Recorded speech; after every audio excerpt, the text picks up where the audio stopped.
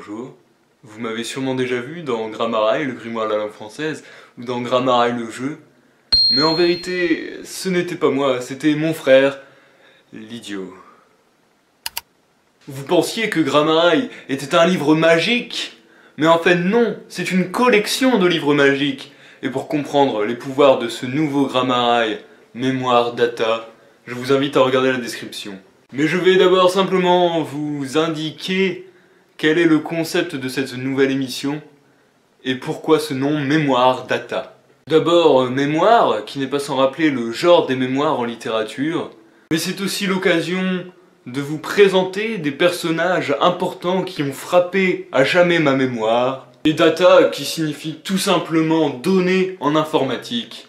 Donc, euh, quand on fait le mix de tout ça, ça donne mémoire data, en quelque sorte mes mémoires écrits au travers d'un livre informatique. Alors vous me direz, pourquoi Pourquoi le partager Pourquoi ne pas le garder pour toi?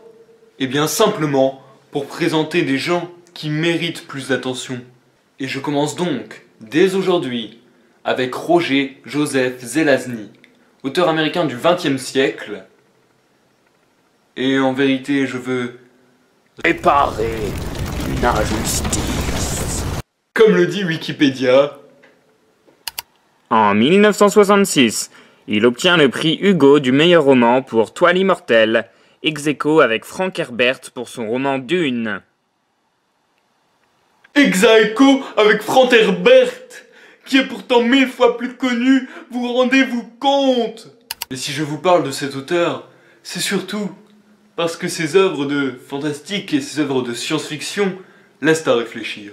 On dit souvent de lui qu'il apporte une pensée sur l'immortalité et l'accession au statut divin en s'appuyant sur les mythologies traditionnelles hindoues, égyptiennes, amérindiennes, celtes, etc.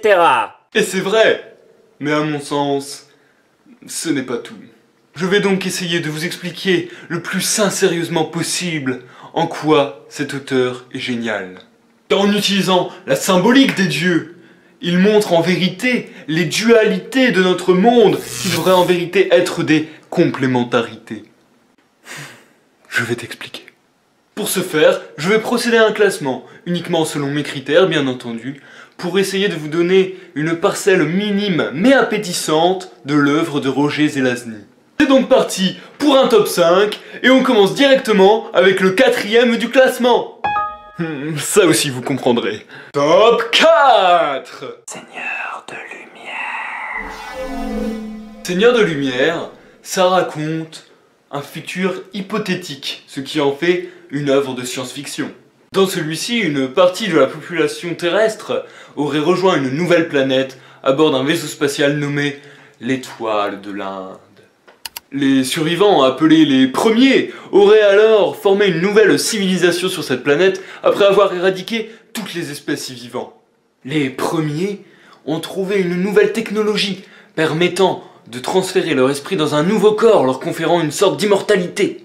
Mais ces premiers qui sont assez balèzes, cela joue Dieu et exercent une pression sur la populace en, par exemple, détruisant leur nouvelle technologie. L'histoire de ce livre, c'est la manière dont Sam, ou Mahasamatman, yes Appelé par bien d'autres noms tout aussi compliqués, va se révolter alors qu'il est lui-même un premier. Il va alors se battre contre Brahma, Vishnu et Shiva qui forment la Trimurti. Si je mets ce livre si bas dans le classement, c'est en vérité parce que sa pensée peut être résumée en une simple phrase. En effet, c'est une pensée assez banale de nos jours qu'il faut se débarrasser de la religion afin d'évoluer. Euh, je ne veux pas m'attirer d'ennui, chacun fait ce qu'il veut, je ne veux pas parler de religion. Mais ce que j'aime dans les livres de Zelazny, c'est la désacralisation des dieux. En effet, ici, ils ne font même que se prétendre Dieu. Bon, ok, euh, il y en a un qui s'appelle le dieu de la mort et qui peut tuer en te regardant. Mais bon, Hmm.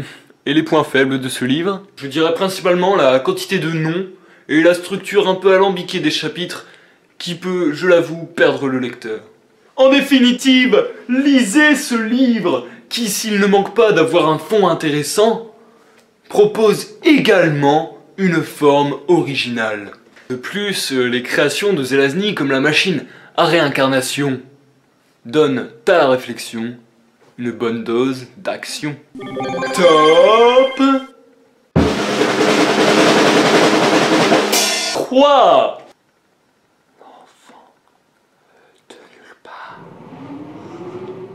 Cette fois, parlons fantaisie. Il s'agit en vérité d'un mini-cycle comprenant l'enfant tombé de nulle part et Franc Sorcier. Pour vous situer l'histoire rapidement, L'enfant tombé de nulle part raconte comment un petit bébé d'un univers moyenâgeux rempli de magie appelé Paul, fils de dette, va arriver dans un monde rempli, lui, de technologie. C'est aussi l'histoire de Marc Maracas qui lui aura fait le voyage inverse de Paul. Marc est tout à fait inadapté à son nouveau monde. Devenu adulte, on ramènera Paul dans son monde natal, espérant rétablir l'ordre normal. Malheureusement, cela ne se passe pas comme prévu, et Paul, fils de dette, va alors devoir combattre Marc Maracas. Dans Franc Sorcier, l'histoire se resserra sur Paul et Gant de Souris, Gant de Souris étant un voleur rencontré précédemment dans le premier roman. Il s'agira alors ici d'une quête plus banale, retrouver un artefact. Cet artefact étant la baguette magique du père défunt de Paul. Les raisons pour aimer cette saga sont simples. Le premier roman est G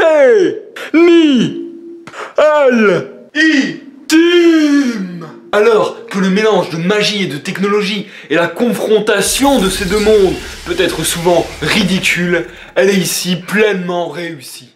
On trouve d'ailleurs des images assez fortes, réactualisées et repensées par Zelazny. Par exemple, l'image de l'éternel persécuté, que représente ici Marc Maracas, lui qui, dans un monde de magie, des machines, se fait très vite expulser de la société. Il sombre peu à peu dans un esprit de vengeance et fait un gros complexe de supériorité. Ou encore l'image banale de l'artiste, mais magnifiquement décrite ici, qui garde son monde en lui ou dans ses volutes de fumée.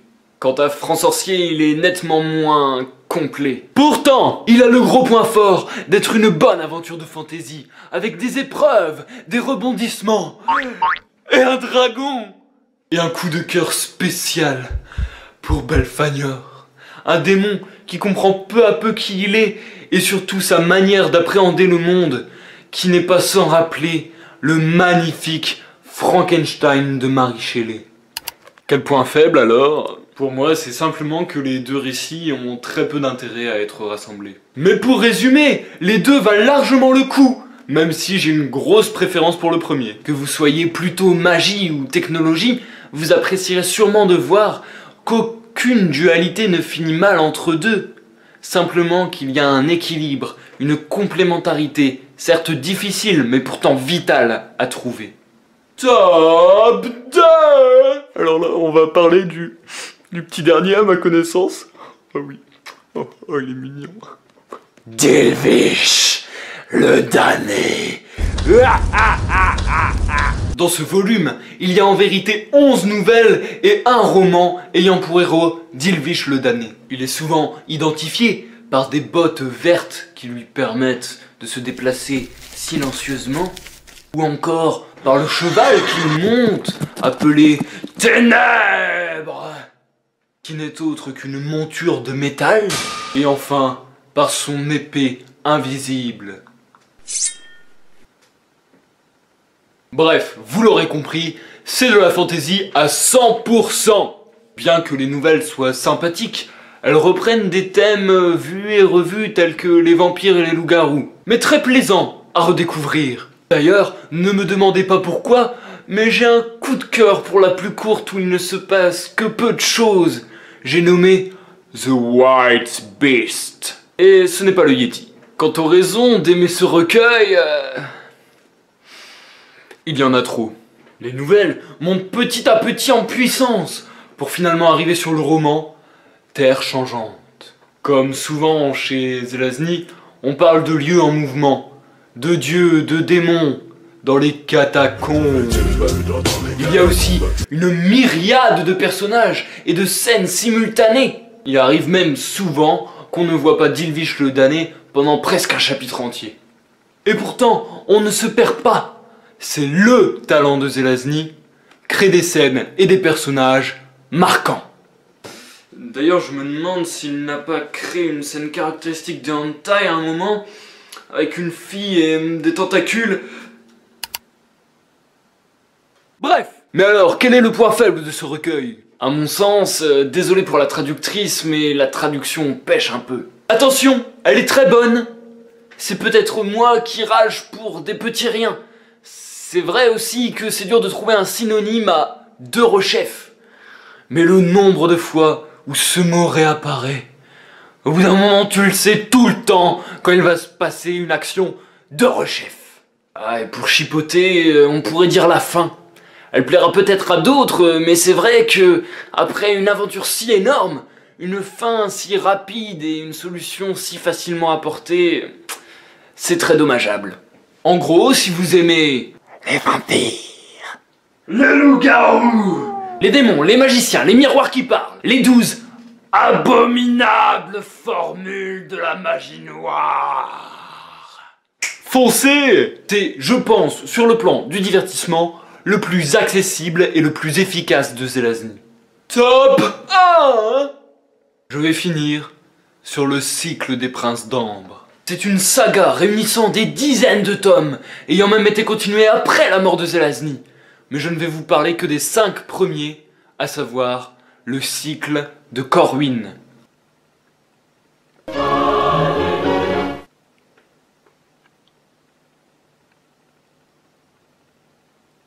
Est le narrateur et le héros de l'histoire. Hmm. Ouais. En fait, je viens de me rendre compte que ça allait être un peu dur de résumer les 5 tomes sans vous spoiler. Donc, je vais vous donner quelques éléments que j'ai particulièrement kiffé et qui vont plutôt bien faire la synthèse de l'œuvre générale de Zelazny. Dans Les Neuf Princes d'Ambre, les fusils d'Avalon, le signe de la licorne, la main d'Oberon et les cours du chaos. Tout, absolument tout. T'es bon. Roger Zelazny nous remet dans une situation où plusieurs mondes coexistent. Notre héros est amnésique et il croit s'appeler Karl Coré dans un monde très proche du nôtre. Après avoir rendu visite à l'une de ses sœurs, il se rend compte très vite que sa véritable identité est tout autre. Il est Corwin d'Ambre, il en est même le prince comme ses frères. Ambre, c'est LE monde originel, les autres mondes se calquant plus ou moins sur celle-ci et n'étant que des ombres de cet univers parallèle. Déjà rien qu'avec ça, vous devez avoir compris, non? L'histoire est une histoire de famille, et elle explique comment Corwin, un frère exclu, va tenter de reconquérir Ambre. Pour faire court, les neuf princes d'Ambre sont Bénédicte, Eric, Corwin, Blaze, Brand, Kane, Julian, Gérard et Random. Eh oui, ce nom est putain de trop classe Et reflète sa personnalité à merveille. Hmm. Mais dans la famille Ambre, je demande aussi le père, Oberon, et je demande aussi les sœurs, Deirdre, Fiona, Flora, et sans oublier Léuela. Et encore, je ne parle que du noyau de personnages, la famille étant bien plus étendue. Et pourtant, comme je vous le disais tout à l'heure, c'est le génie de Zelazny. On s'y retrouve. Et chacun a sa personnalité particulière, singulière, et tout bonnement géniale. Ne vous laissez surtout pas décourager. Entamer la lecture, c'est lire les 5 tomes de suite. Et sans vous souvenir de tous les détails, vous vous souviendrez de quelques éléments tels que la marelle, la balade en voiture, et dans ma tête, ça ne peut être qu'une Cadillac, qui commence comme dans les films américains de crooner, pour se finir en une scène de transformation du paysage magnifique. Je dirais même magnifique. Je dirais même magnifique extraordinaire. Super califragilisticexpialidocious Ou encore la bataille finale. Car oui, il en faut une. Pour peut-être euh, davantage vous parler, c'est comme si on prenait Le Seigneur des Anneaux, mélangé avec Harry Potter, mélangé avec Game of Thrones. Eh oui, rien que ça. Je ne tarirai pas d'éloges à propos de ce monument. Et je ne vois pas de point faible, si ce n'est peut-être que les suites sont difficiles à trouver. Alors, foncez À la fois une aventure de fantaisie prenante et une réflexion assez novatrice de notre monde grâce au personnage de Corwin dans le tome 1. Lisez Et maintenant, le top fantôme.